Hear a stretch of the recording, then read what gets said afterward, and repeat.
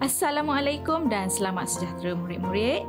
Bersua kita kembali dalam sesi pembelajaran hari ini bersama saya, Cikgu Aziz dari SMK Taman Melawati Gombak.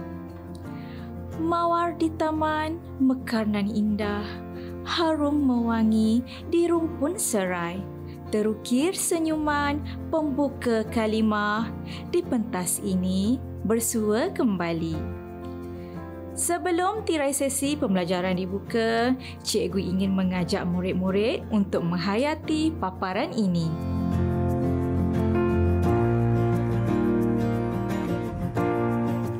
Boleh cikgu tahu apakah gambar yang telah dipaparkan sebentar tadi? Ya, betul. Gambar tersebut ialah bunga mawar. Bunga mawar antara bunga terindah yang memiliki aroma harum dan sering menjadi simbol cinta dan kasih sayang. Adakah murid-murid tahu apa kelebihan duri yang terdapat pada bunga mawar? Duri yang terdapat pada bunga mawar berfungsi untuk melindungi dirinya daripada serangan haiwan ataupun dipetik oleh tangan manusia. Ini kerana bunga mawar mempunyai aroma harum dan rasa yang manis yang menjadi daya penarik haiwan untuk menghampirinya. Justeru, duri tersebut berperanan sebagai mekanisme pertahanan untuk dirinya sendiri. Baiklah, cikgu ingin bertanya, Adakah murid-murid pernah mendengar perlambangan lain bagi bunga mawar selain simbol cinta dan kasih sayang? Ya, tepat sekali. Bunga mawar sering menjadi perlambangan buat wanita atau gadis. Kenapa? Ini kerana walaupun bunga tersebut indah dan wangi, namun ianya tidak mudah untuk dihampiri oleh haiwan liar kerana adanya duri yang melindunginya. Justeru, amatlah bertepatan jika bunga mawar diberi perlambangan kepada seorang gadis. Hal ini demikian kerana kecantikan yang dianugerahkan oleh Allah Subhanahu Wa Taala perlulah sentiasa dipelihara. Kenyataan ini dapat menjelaskan bahawa betapa pentingnya menjaga maruah diri sebagai seorang gadis. Justeru, pada hari ini, cikgu ingin mengajak murid-murid menghayati bait-bait puisi dalam sajak pada sekuntum mawar. Cikgu harap murid-murid telah pun bersedia dengan buku teks antologi Baik Budi Indah Bahasa tingkatan 2 beserta pen dan buku catatan untuk mencatat isi-isi penting yang akan kita bincangkan sebentar lagi. Sebelum cikgu teruskan, suka cikgu ingin menyatakan objektif pelajaran yang perlu dicapai oleh murid-murid pada hari ini. Pertama, murid-murid diharapkan dapat menyatakan maksud setiap rangkap sajak dengan jelas. Kedua, murid dapat menyatakan sekurang-kurangnya satu tema dan lima persoalan yang terdapat dalam sajak. Ketiga, murid dapat menyatakan sekurang-kurangnya lima bentuk sajak dengan jelas. Seterusnya, murid dapat menghuraikan sekurang-kurangnya empat nilai dan empat pengajaran yang terdapat dalam sajak. Sebagai pembuka tirai sesi pembelajaran kita pada hari ini, cikgu ingin mengajak murid-murid untuk sama-sama menghayati baik-baik sajak ini. Sajak ini bernada melankoli. Pada sekuntum mawar. Karya Mahwa Muhammad.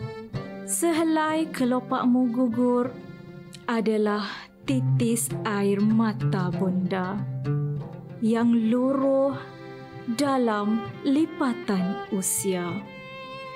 Merenung pada malam yang kematian angin, pada laut yang kematian ombak. Seperti telah menutup pintu kehidupan ini menjadi sepi dan lara pada kemusnahan yang tak pernah dipinta. Sekuntum mawar bukan melontar harum indahmu di hujung lembah, tapi mengangkat seri mahkotamu ke puncak iman. Setelah menghayati baris demi baris serta rangkap demi rangkap saja, dapatkah murid-murid nyatakan maksud pada setiap rangkap saja tersebut? Baiklah, mari kita sama-sama mengupas maksud yang tersirat di sebalik bait-bait sajak tersebut. Pada rangkap pertama saja, penyajak mengumpamakan bunga mawar sebagai seorang gadis.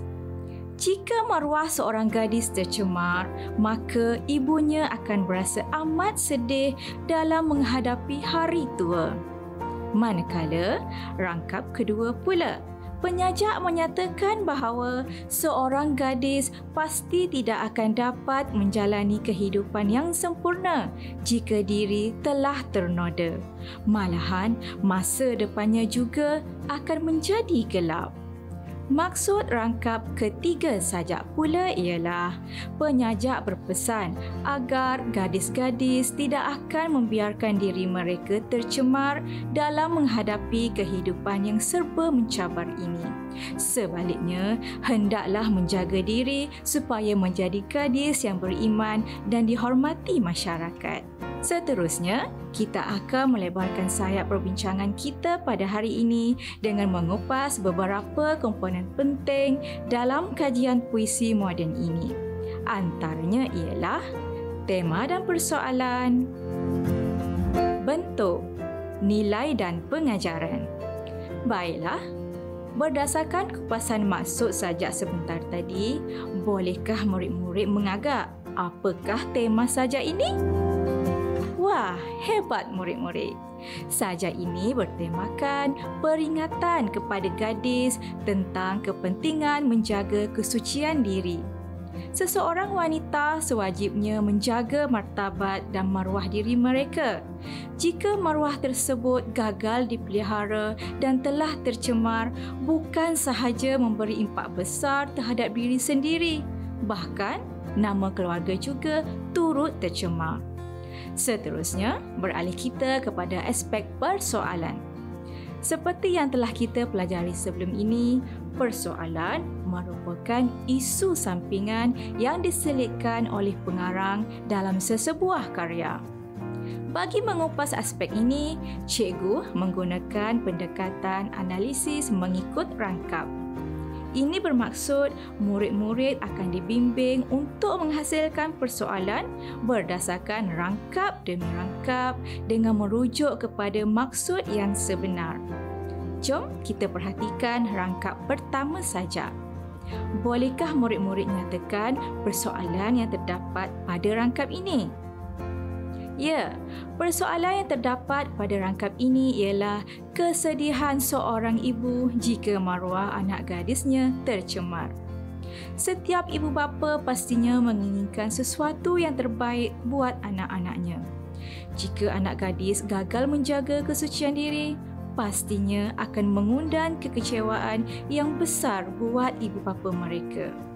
Beralih kita kepada rangkap kedua saja. Boleh murid-murid nyatakan persoalan yang terdapat pada rangkap ini? Ya, bagus. Persoalan yang terdapat pada rangkap kedua saja ialah kesedihan seorang ibu jika maruah anak gadisnya tercemar. Justru murid-murid sebagai seorang remaja yang perlu memikul tanggungjawab sebagai seorang anak, haruslah murid-murid menjaga hati ibu bapa masing-masing. Lakukanlah sesuatu yang boleh membirakan hati mereka, bukannya rasa kecewa yang mengundang kesedihan yang berpanjangan. Seorang gadis khususnya wajib untuk anda menjaga kehormatan diri, tidak kira di mana anda berada elakkanlah perkara yang boleh menjuruskan anda ke arah kemaksiatan. Seterusnya, kita hayati pula rangkap ketiga saja. Bolehkah murid-murid nyatakan beberapa persoalan yang terdapat pada rangkap tersebut? Ya, terdapat beberapa persoalan pada rangkap ketiga saja. Antaranya ialah kecantikan seseorang gadis bukan untuk dibanggakan. Kelebihan dan kecantikan yang dianugerahkan oleh Allah kepada seseorang gadis bukanlah untuk dijadikan tontonan umum. Sebaliknya, wajib untuk anda memelihara dan menjaga kecantikan tersebut hanya untuk tontonan seseorang yang halal untuk anda suatu masa nanti, iaitu suami. Jangan jadi seperti segelintir remaja sekarang, terlalu gemar mempamerkan kecantikan diri seperti memuat naik gambar-gambar di laman sosial bertujuan untuk meraih pujian daripada orang ramai. Selain itu, terdapat juga persoalan ketinggian maruah seorang gadis. Maruah seorang gadis tidak boleh dijual beli. Oleh itu, pentingnya anda sentiasa menjaga maruah diri dari sekarang agar tidak menyesal di kemudian hari. Seperti peribahasa Melayu, sesal dahulu pendapatan, sesal kemudian tiada berguna. Persoalan terakhir ialah keteguhan iman sebagai benteng kehidupan. Remaja merupakan zaman yang penuh dengan godaan murid-murid tidak kira lelaki maupun perempuan haruslah sentiasa teguhkan keimanan dalam diri agar dapat menepis sebarang cabaran yang mendatang. Cabaran hidup remaja bukan sahaja dalam pelajaran, bahkan dalam kehidupan seharian seperti persekitaran, keluarga dan persahabatan. Baiklah murid-murid yang cikgu kasihi semua, beralih kita kepada topik perbincangan seterusnya, iaitu aspek bentuk. Apakah yang murid-murid faham tentang kajian aspek bentuk dalam sesebuah puisi? Apakah pula elemen-elemen yang terdapat dalam kajian bentuk? Aspek kajian bentuk merupakan kajian tentang ciri-ciri yang terdapat dalam sesebuah puisi. Justeru, aspek ini juga sering disebut sebagai ciri-ciri puisi. Baiklah, boleh murid-murid senaraikan elemen-elemen yang terdapat dalam kajian bentuk ini? Ya, anda hebat. Dalam kajian bentuk, kita akan mengkaji lima elemen penting iaitu bilangan rangkap, bilangan baris, bilangan patah perkataan, bilangan suku kata dan rima akhir. Sebelum kita mengupas aspek ini dengan lebih terperinci, suka cikgu ingin memberikan sedikit penjelasan tentang setiap elemen tersebut. Untuk bilangan rangkap, murid hanya perlu menyatakan jumlah rangkap puisi tersebut. Berbeza dengan bilangan baris, bilangan perkataan dan bilangan suku kata. Ini kerana untuk bilangan baris, murid perlu melihat bilangan baris paling minimum dan bilangan paling maksimum pada semua rangkap. Bagi bilangan perkataan juga, murid-murid perlu menyatakan jumlah bilangan perkataan paling minimum dan bilangan paling maksimum dalam setiap baris. Bagi bilangan suku kata juga, murid perlu menyatakan jumlah suku kata paling minimum dan suku kata paling maksimum. Semua kupasan elemen tersebut perlu disertakan dengan contoh yang sesuai. Baiklah, sekarang berbekalkan buku teks antologi tersebut, murid-murid diminta menyenaraikan elemen-elemen bentuk yang telah kita bincangkan sebentar tadi beserta contoh yang jelas. Sekarang jom kita menyemak kajian aspek bentuk dalam sajak pada sekuntung mawar. Bilangan rangkap sajak ini ialah tiga rangkap. Bilangan baris sajak ini ialah tiga hingga enam baris rangkap. Rangkap pertama mempunyai tiga baris, rangkap kedua mempunyai enam baris, manakala rangkap ketiga mempunyai lima baris. Justeru, bilangan baris saja ini ialah antara 3 hingga 6 baris serangkap. Bilangan perkataan saja ini ialah antara 2 hingga 6 patah perkataan sebaris. Lihat pada contoh yang dipaparkan. Sekuntum mawar merupakan dua patah perkataan. Merenung pada malam yang kematian angin. Enam patah perkataan Bilangan suku kata saja ini pula ialah antara 5 hingga 14 suku kata sebaris. Lihat pada contoh yang dipaparkan. Sekuntum mawar merupakan 5 suku kata. Merenung pada malam yang kematian angin merupakan 14 suku kata. Rima akhir saja ini ialah bebas atau tidak terikat.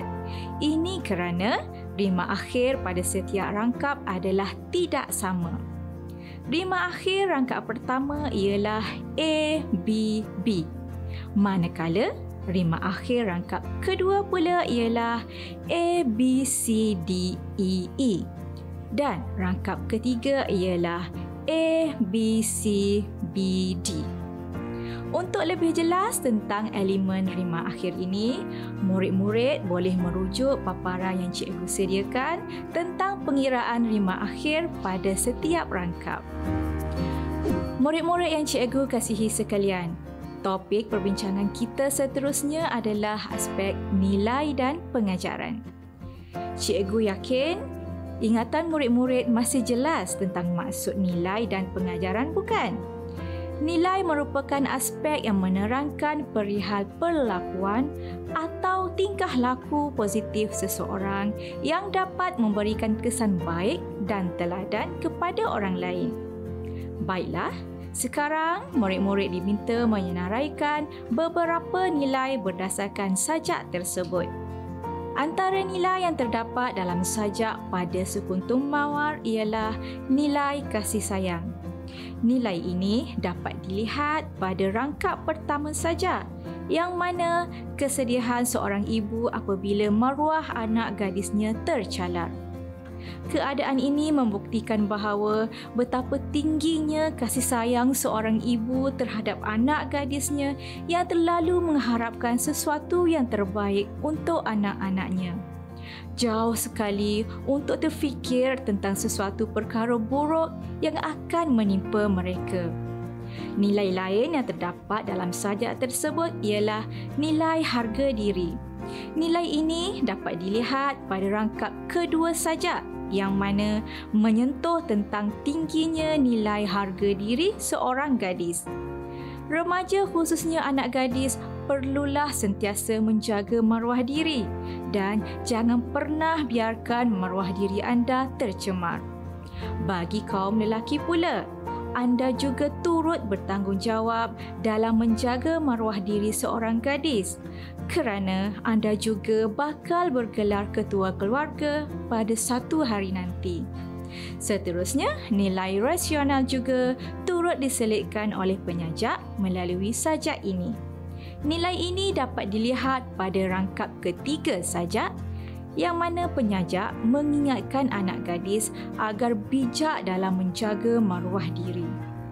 Anak gadis diingatkan agar tidak menyalahgunakan kecantikan yang dianugerahkan oleh Allah ke jalan yang salah. Ini kerana kecantikan anda haruslah sentiasa dipelihara, bukannya untuk dipertontonkan kepada khalayak. Nilai terakhir saja ini ialah nilai keimanan. Nilai ini dapat dilihat pada rangkap ketiga saja. Penyajak mengingatkan anak gadis agar sentiasa teguhkan keimanan kerana ia mampu menjadi benteng dalam memelihara kehormatan diri. Tanpa keteguhan iman, anak gadis dikhawatiri akan kecundang dalam hidup yang penuh dengan onak dan duri ini. Baiklah murid, beralih kita kepada aspek terakhir perbincangan kita pada hari ini iaitu pengajaran. Diharapkan agar murid-murid masih ingat tentang maksud dan cara menghasilkan pengajaran berdasarkan sesebuah karya yang dipelajari. Pengajaran merupakan suatu perutusan atau amanat atau peringatan dan pedoman yang hendak disampaikan oleh pengarang kepada seseorang. Berdasarkan kupasan dari awal pembelajaran tadi, murid-murid diminta menyenaraikan lima pengajaran yang dapat dijadikan pedoman dan teladan kepada kita semua.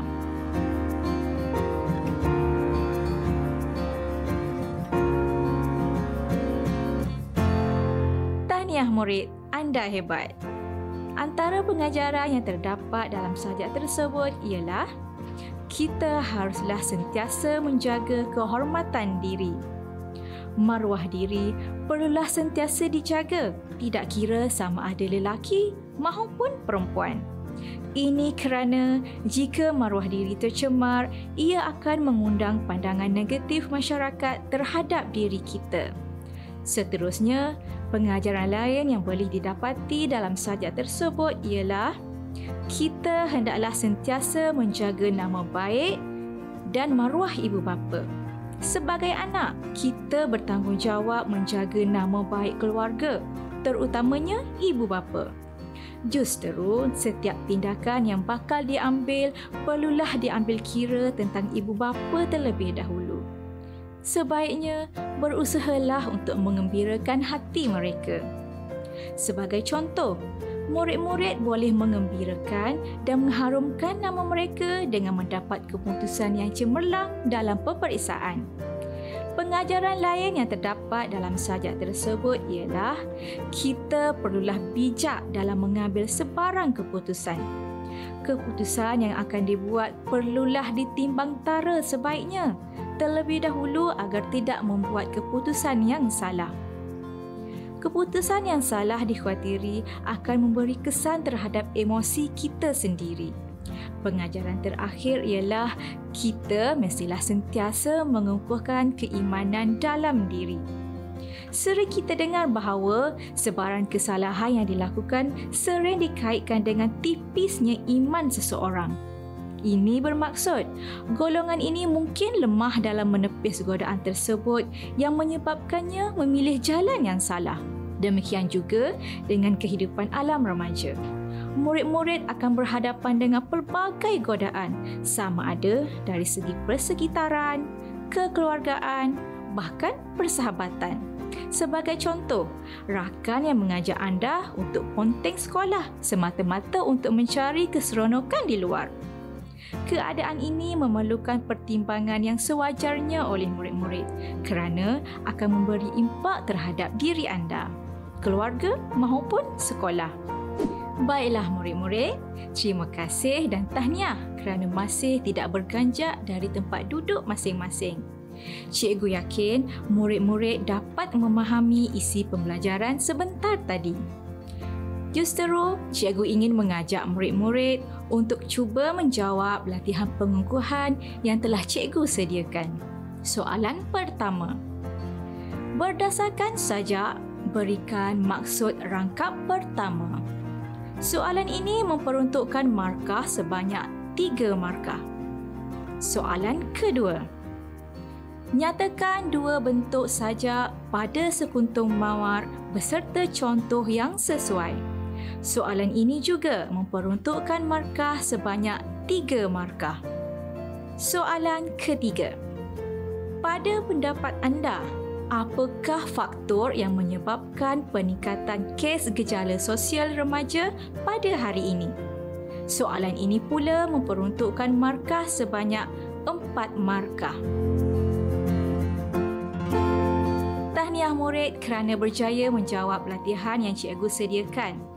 Marilah kita sama-sama menyemak jawapan bagi memastikan murid-murid telah pun menjawab mengikut format peperiksaan yang sebenar bagi soalan satu. Markah yang diperuntukkan adalah sebanyak tiga markah.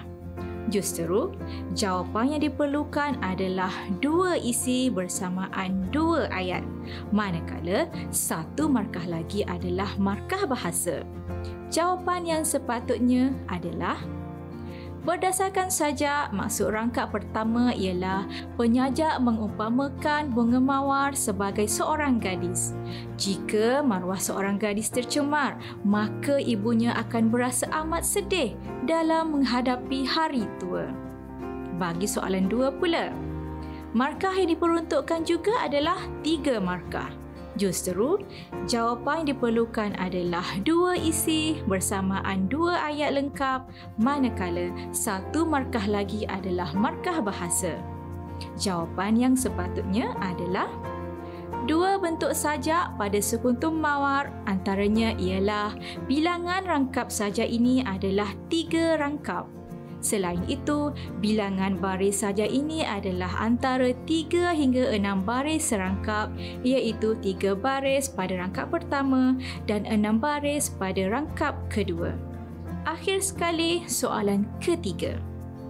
Soalan ini memperuntukkan markah sebanyak empat markah. Justeru, jawapan diperlukan ialah tiga isi bersamaan tiga ayat. Satu markah adalah markah bahasa. Jawapan yang sepatutnya adalah pada pendapat saya, faktor yang menyebabkan peningkatan kes gejala sosial remaja pada hari ini ialah kurangnya perhatian dan didikan daripada ibu bapa. Selain itu, remaja yang terlibat dengan gejala sosial ini juga disebabkan oleh pengaruh rakan sebaya. Di samping itu, pengaruh media masa juga merupakan faktor remaja terlibat dengan gejala sosial. Tahniah kepada murid-murid yang berjaya menjawab soalan yang diberi dengan betul. Ini menunjukkan murid-murid telah pun menguasai subtopik perbincangan ini dengan jelas.